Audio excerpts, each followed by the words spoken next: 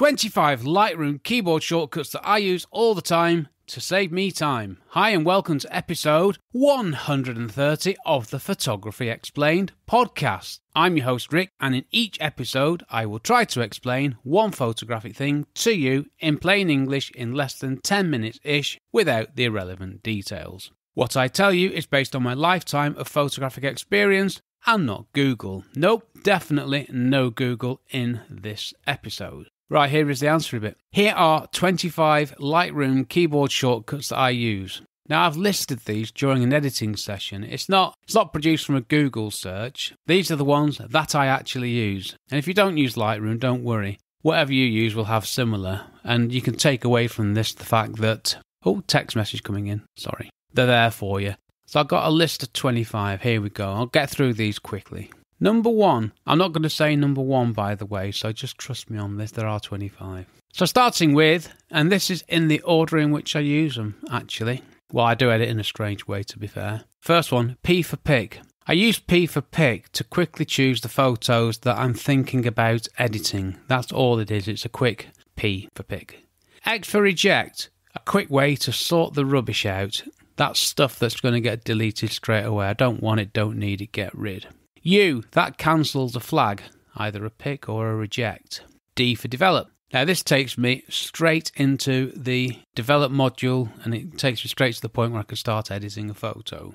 M for map takes me straight to the excellent map module, much maligned by others but loved by me. R for crop tool takes me straight to the crop tool. And when I'm in the crop tool, if I press O, that scrolls through the different crop overlays, and it's a brilliant, brilliant thing. G for grid takes me to the grid view in the library mode.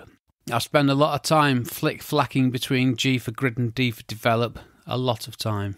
Now, two good old faithful generic universal keyboard shortcuts, easy for me to say. Control C, copy stuff. Control V, paste the stuff that I've copied. Shift Tab, quickly get rid of or bring back the side panels, giving you a bigger photo to look at. Control A, select all the photos. Right arrow key, used on the sliders to give me fine control, normally adjustments in increments of 5, but it, there are some other ones where it is a bit different. 14, left arrow key, the same, but the other way around. So you press a key to the right and you add an amount of adjustment, use the left key to take away. Brilliant, easy, and it's quite often it's easier than using the mouse and trying to click on that little blobby bit in the middle. 15, home takes me to the first photo in a collection or folder. End takes me to the last photo. Well, you'd expect that, wouldn't you? Page up, many uses, including in the spot removal tool. Page down, many uses, including in the spot removal tool. I'll touch on that one here actually. Go to the spot removal tool, zoom in to 100%, press home, check that screen that you're looking at, then press page down. It'll take you to the next one and it'll keep on going till you get to the other corner. Brilliant. K, new mask. Takes me straight to a new mask. Q, spot removal. Takes me straight to the spot removal tool I mentioned earlier. W for white balance. Takes me straight to the white balance tool. Y, before and after. Why not?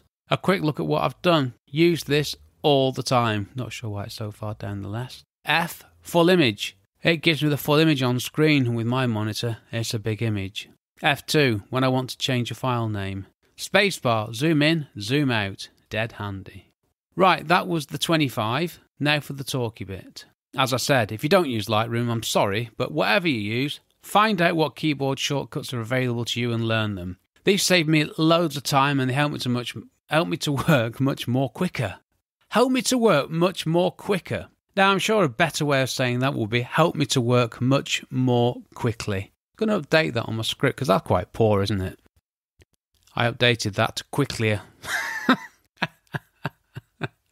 Quick clear. Actually, that might be a word, I'm not sure. So, they save me loads of time and help me to work much quickly.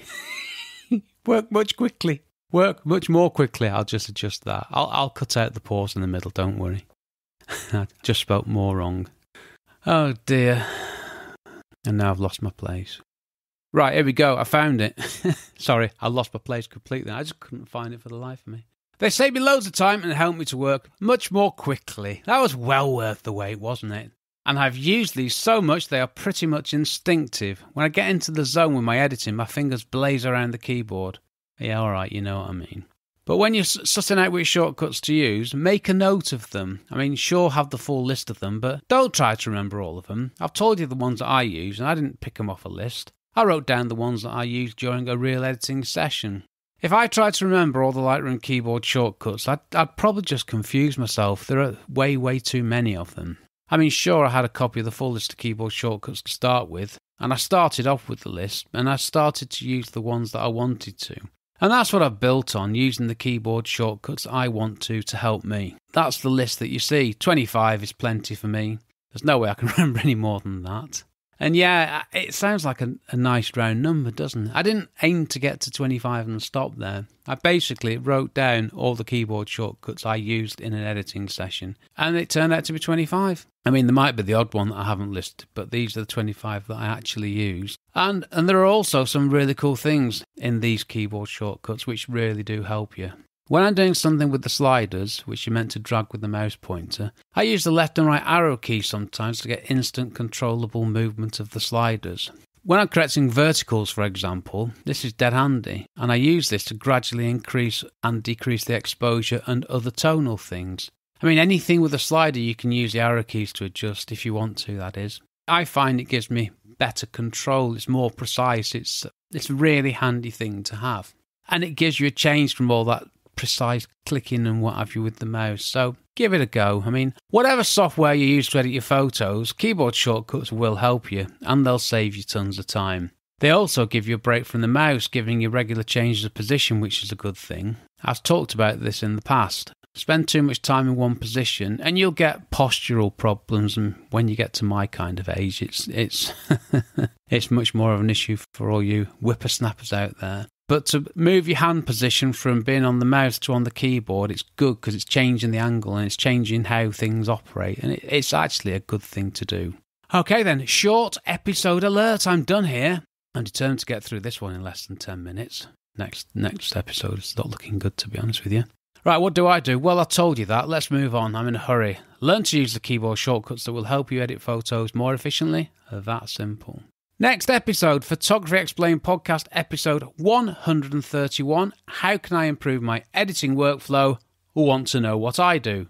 That should be a question mark, shouldn't it? Not an exclamation mark. Now, in this episode, I'm going to tell you exactly what my workflow for editing photos is from start to finish. If this one makes it in less than 10 minutes, great. This one won't.